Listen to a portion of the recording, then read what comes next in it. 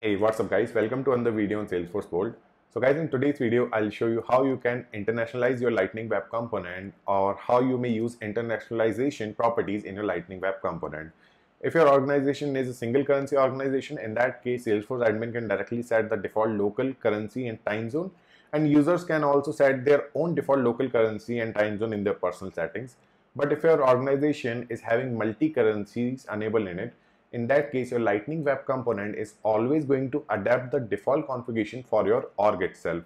So let's suppose if your org is having a different time zone and your user is having a different time zone so your lightning web component will always adapt the time zone of your org itself. To make your lightning web component internationalize you can use internationalization properties. So in this video i can show you how you can use these internationalization properties and also i'll show you some examples to use it so let's start today's video guys. I'm Kapil your host and you're watching Salesforce Bolt.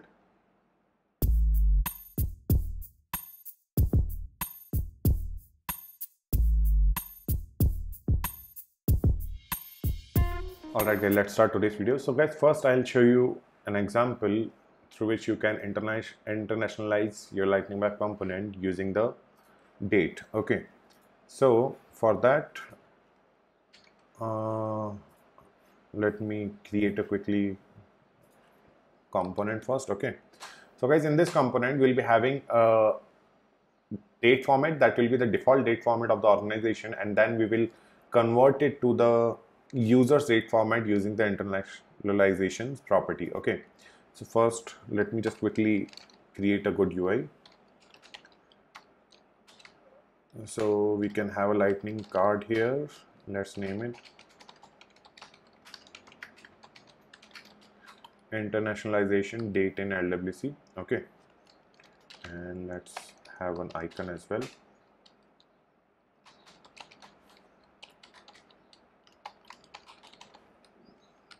Okay that should be fine.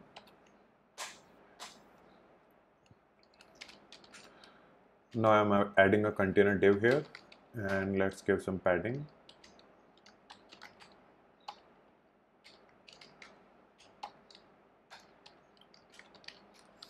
okay cool. Now guys here first we will show the default date format then I will add a button to convert that date format based on the user's date format. So basically we will internationalize our lightning web component. You may also do this functionality on the load of this component of course. So this is just for demo purpose. That's why I'm showing you on the buttons click okay? So let's suppose date okay here we'll be having the default date. Okay let's add a line break here. And then we will have formatted date.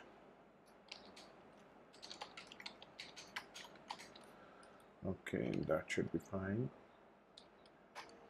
Let's add a line break here as well. Okay now let's add a button. Lightning button. Okay. Let's name it. Get formatted date. Okay. And on click of it we can call a function handle formatted date. Okay.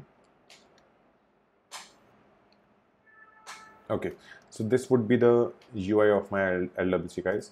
Now on the JavaScript part first we have to import the internationalization properties. So from those internationalization properties I will be importing local local so uh, to get the uh, local uh, date format okay? So we'll do from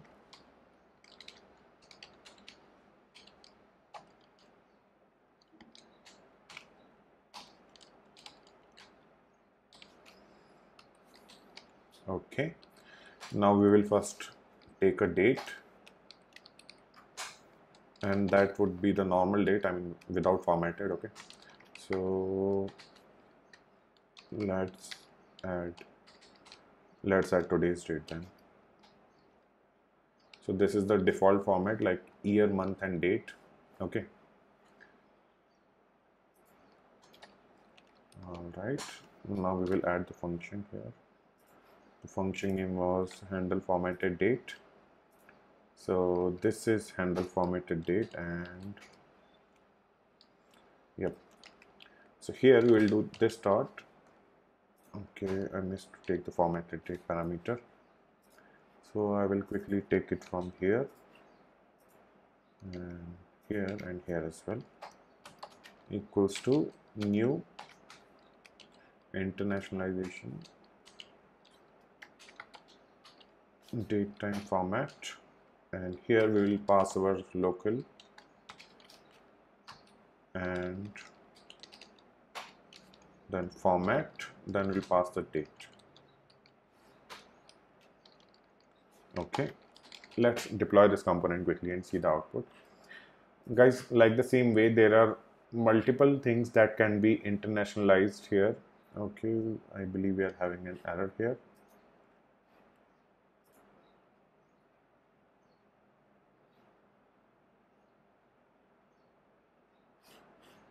uh, what it says.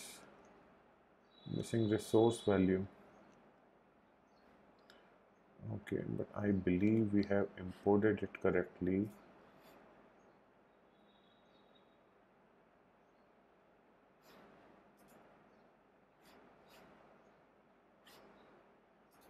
Import local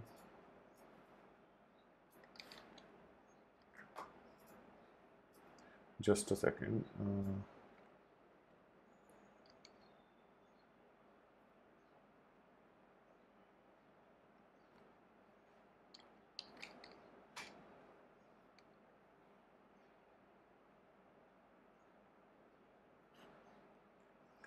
okay.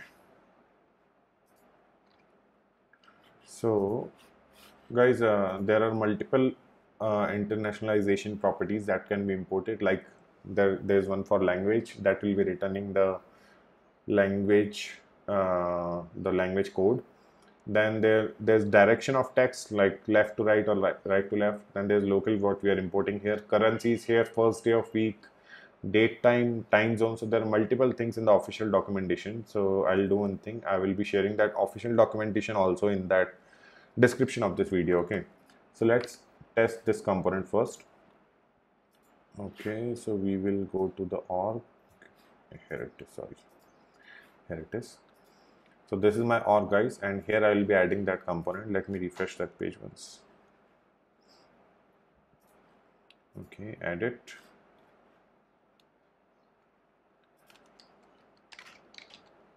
And this is my component. I will add it here. Save. Okay all right. So now like this is the default format like Monday July uh, 25 2022 okay. Now if I will click on this get formatted date so it will format the date based on the settings on my user. So let me show you the settings here as well. So here in user if you will go to language and time zone.